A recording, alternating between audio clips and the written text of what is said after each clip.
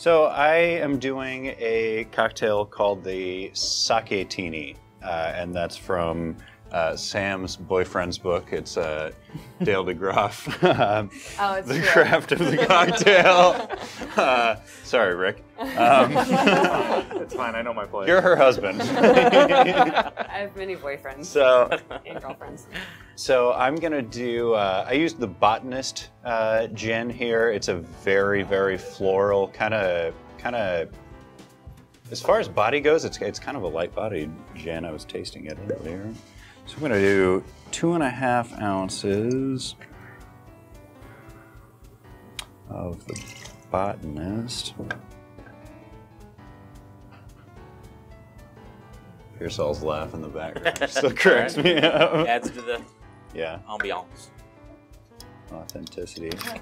so I've got dry curacao here. Uh, you know, I feel like anyone who's really into cocktails probably knows about it, but when you think of curacao, maybe you think of blue curacao, which is Curaçao's an island, uh, and they grow all these oranges that are basically inedible. Uh, think like Normandy apples or crab apples. Like you can't actually eat them, but uh, they found that if you ferment them and make a distillate, it's actually quite nice. How much of that? So I've got a quarter ounce of the dry curacao, and and then I'm going to use the uh, Hakutsuru uh, Junmai sake. Uh, I love sake on its own uh, or as a cocktail ingredient. Um, if you're going to try and get into sake, I recommend uh, maybe try the different tiers. You know, they mill the rice down to get to to get to the the, the pure starch, um, and the different levels. You're you're going to get a lot of variation out of them. Uh, Junmai is kind of like the entry level. Uh, this will be milled down about thirty percent, uh, or at least thirty percent, I should say. Uh, you get into the higher levels like uh, uh, Daiginjo sakes uh, are milled 50% or more. Uh, so the quality just comes from that, but not to say that that's it's all preferential, of course. Uh, and I'm kind of doing this because you know, uh, you know, your vermouth is just a, a, a wine, a, a fortified wine, or a, so.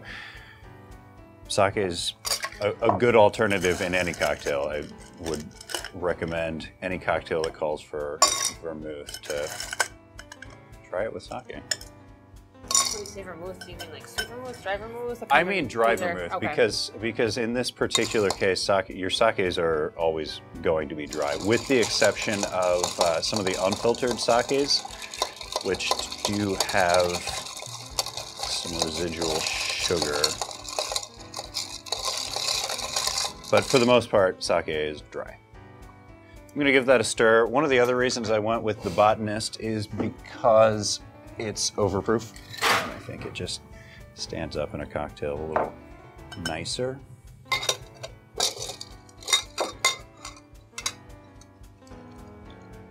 And I'm using a rocks glass because that's what I had. And none of that shit actually matters.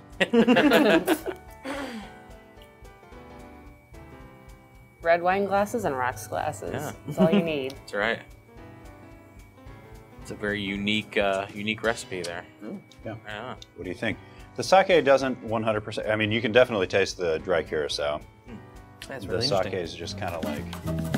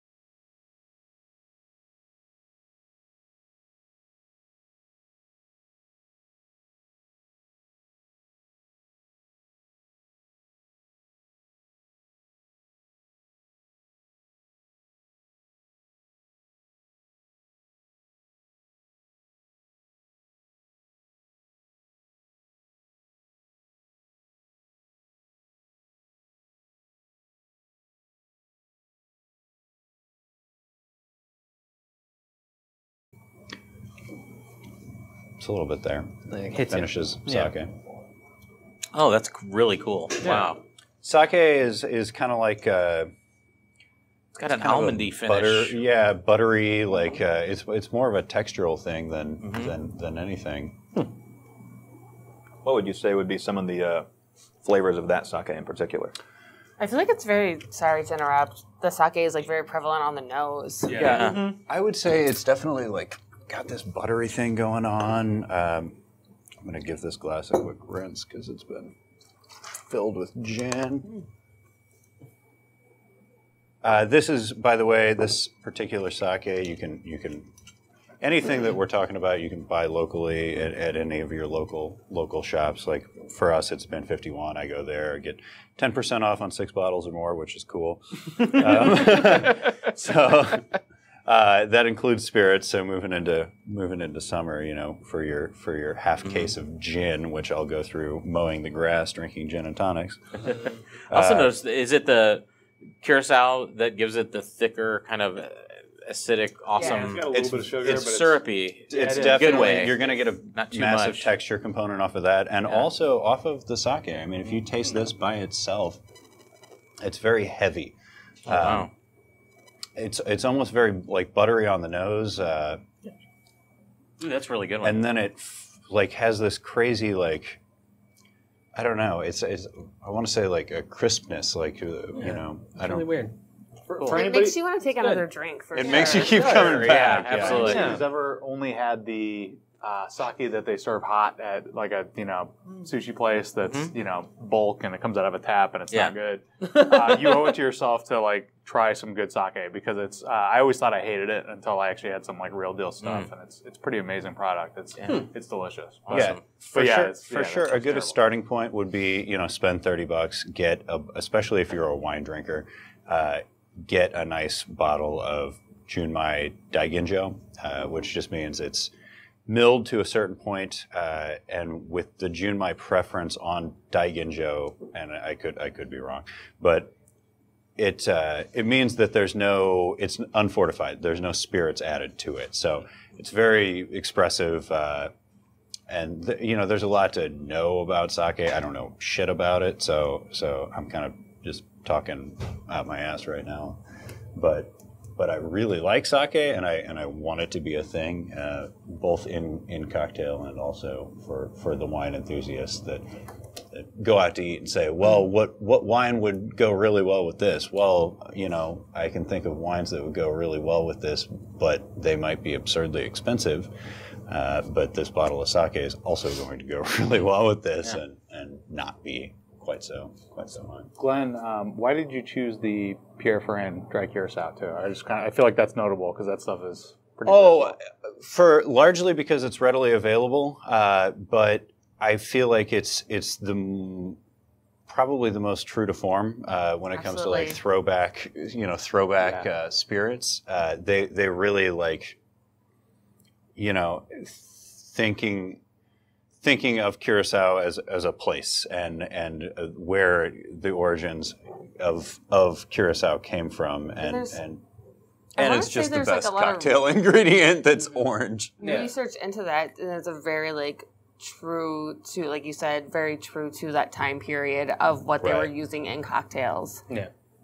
it's a good all-purpose one. I think I find that like, you know, every- there's Cointreau, there's triple sec, there's all, all different uh, manner of things out there, and to me, that's like, it's it's not very expensive, and it's you know, like you said, now it's readily available these days, and I just I find like you can pretty much use that as your all-purpose orange liqueur, and it, and it works really well. So. Yeah, the, the price point's always good. And Pierre Ferrand, uh, being traditionally a, a cognac distiller, uh, those guys literally like write the book on cognac distillation too. They're the ones that convene every year and decide what cognac is, and that being a nice, uh, nice cognac-based spirit from them shows the amount that they care in what they're making. And they're a bunch of fun guys too.